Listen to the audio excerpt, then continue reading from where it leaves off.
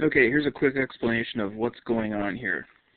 Uh, here I have my uh, Arduino-based uh, sequencer, which can do MIDI or sort of pseudo CV and gate uh, through PWM, and it's now got a new mode called drum mode, uh, which allows you to use it as a really simple two-channel triggery drum machine kind of thing.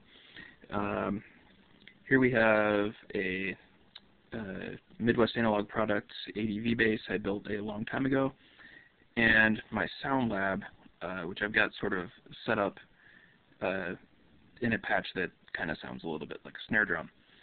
Okay, so now I'm going to take the sequencer, and it's already set in drum mode.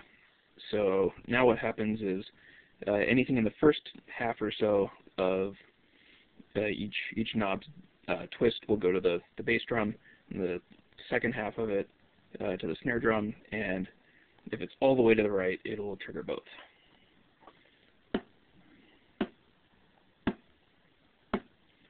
So there we go, some drum.